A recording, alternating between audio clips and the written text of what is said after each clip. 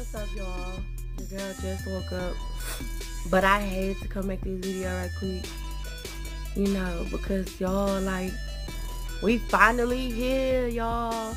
It's the morning of New Year's Eve, and we here, y'all. We made it. We made it. We made it. So, you know, today we all should be full of victory. We all should be full of joy. We all should be feeling blessed because, I mean, we're still alive. We're still here. Like, after everything. So, you know, if you don't do nothing else, you, you should count it all joy. You heard it from your one and your only, Lynn Restore Love. Until later. I want to encourage someone. Don't go into 2020 stressed out, worried, with a lot on your mind. I want to encourage you to take some time and clear your mind. Take some time and enjoy the fact that you're still alive. Embrace the fact that you made it through. Like, you made it over. Like, you know, I get it. Bills are due. You know, maybe you might be having baby and daddy problems Maybe life might be a little challenging a little complicated. But I want to encourage you to be grateful, be happy. Know that you are victorious and know that you're still here. Like after everything, you're still here. So that's the reason right there to celebrate, if no other reason. You know, don't spend this time being stressed out and worried. We all know bills gonna continue to come, whether you're here or not. So take a moment, take a moment and take the joy. Choose to be happy.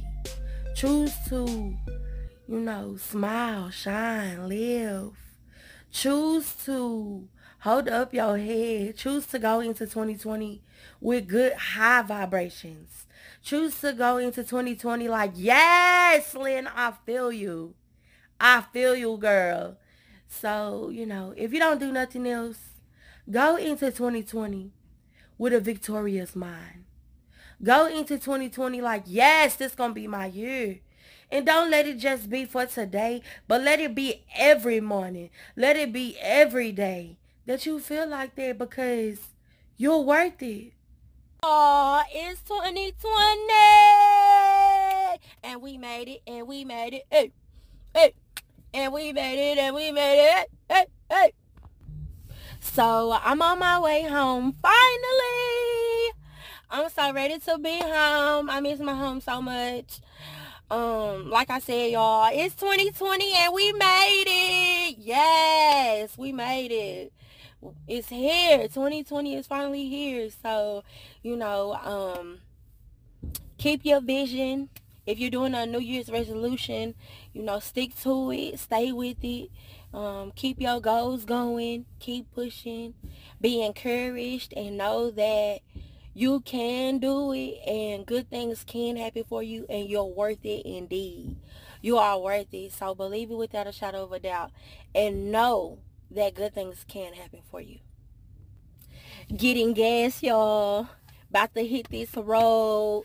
Before I left, I had to go, you know, sing happy birthday to my grandmother and everything like that. Um, I'm just, I'm ready to go home. I'm ready to be back at home in my territory doing me.